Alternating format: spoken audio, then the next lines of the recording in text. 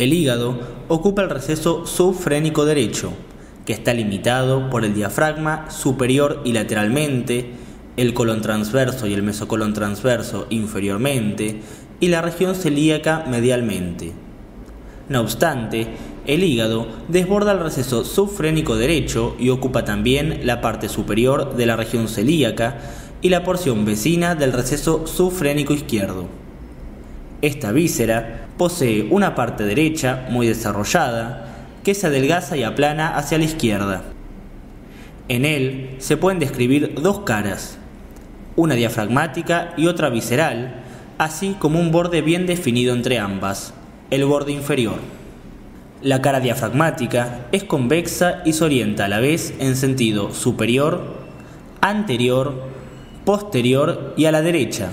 Esta cara está dividida en dos lóbulos, derecho e izquierdo, separados por el ligamento falciforme. Este ligamento constituye un repliegue de peritoneo que envuelve el ligamento redondo del hígado. En la porción posterior de la cara diafragmática se aprecian dos surcos verticales. Por un lado, encontramos al surco de la vena cava inferior a la derecha, que es un canal que contiene a la misma. Y por otro, observamos a la fisura del ligamento venoso, a la izquierda, que tiene continuidad con la fisura del ligamento redondo. El segmento comprendido entre los dos surcos es el denominado lóbulo caudado. La cara visceral del hígado es irregularmente plana y está orientada inferior, posteriormente y a la izquierda. Se halla recorrida por tres surcos, dos anteroposteriores y uno transversal encontramos a la fisura del ligamento redondo, cuyo extremo anterior produce en el borde inferior del hígado la denominada escotadura del ligamento redondo. Esta fisura contiene un cordón fibroso denominado ligamento redondo del hígado que resulta de la atrofia de la vena umbilical. Además, podemos observar a la fosa a la vesícula biliar. Esta es un canal poco profundo que aloja a dicha estructura. Esta fosa comienza en el borde inferior del hígado, donde produce una escotadura, y termina posteriormente al extremo derecho del porta hepático. Por último, vemos el porta hepático, que constituye el surco transverso y se extiende entre la fisura del ligamento redondo y la fosa de la vesícula biliar.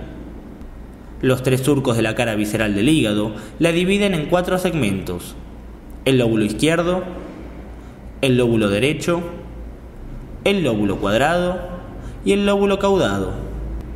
Los conductos biliares, provenientes de los segmentos hepáticos, se reúnen para constituir en el porta hepático los dos conductos hepáticos, derecho e izquierdo.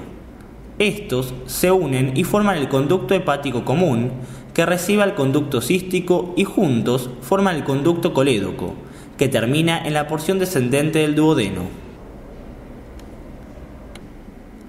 El hígado recibe un vaso funcional, que es la vena porta hepática, y un vaso nutricio, que es la arteria hepática propia.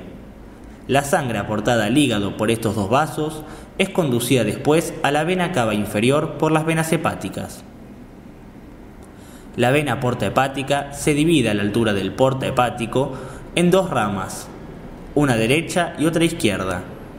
La rama derecha origina dos colaterales destinadas a los lóbulos cuadrado y caudado y se ramifica en el lóbulo derecho. La rama izquierda, antes de penetrar en el lóbulo izquierdo, suministra también algunas colaterales a los lóbulos cuadrado y caudado. Las ramas de la vena porta discurren juntas con una rama de la arteria hepática propia y con un conducto biliar, en una vaina de la cápsula fibrosa perivascular.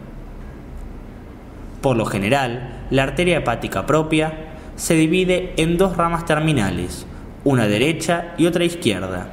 La rama izquierda suele dividirse a su vez antes de llegar al porta hepático en tres ramas secundarias destinadas a los lóbulos cuadrado, caudado e izquierdo.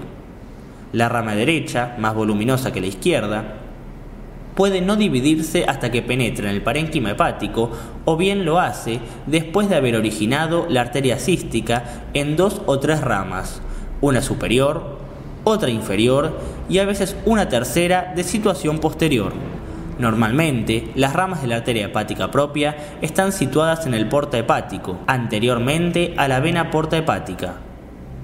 La arteria hepática propia se ramifica en el hígado de la misma manera que la vena porta hepática.